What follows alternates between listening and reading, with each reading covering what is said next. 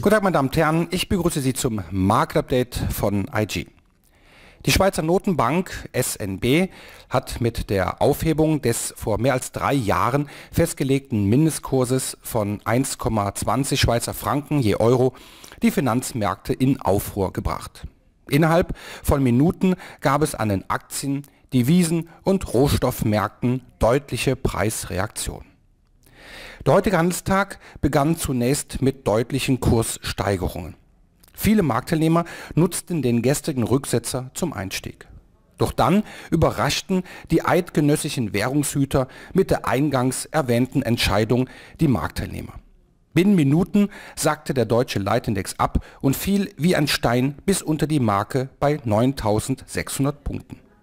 So zügig wie es gen Süden ging, so schnell erholten sich die Notierungen auf dem Frankfurter Börsenparkett auch wieder. Im späten Handel konnte auf Intraday-Basis erneut das Level bei 10.000 Zählern überwunden werden. Einer der Verlierer des heutigen Tages ist der Euro gegenüber dem US-Dollar. Das Währungspaar wurde wahrhaftig auf dem falschen Fuß erwischt. Die Entscheidung der Schweizer Notenbank kam vollkommen überraschend. Zeitweise ging es unter dem Preisbereich bei 1,16. Zur Stunde erholen sich die Notierungen ein wenig. Dennoch dürfen die Marktteilnehmer an den Devisenmärkten das heutige Kursgeschehen nicht so schnell vergessen. Profitär des derzeitigen Desasters beim Euro-US-Dollar ist der Goldpreis.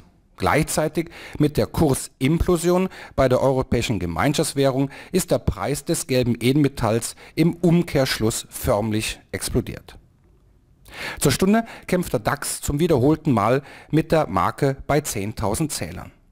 Trotz einer momentanen Gegenwehr notiert der Euro-US-Dollar mit 1,1638 weiterhin deutlich im Minus.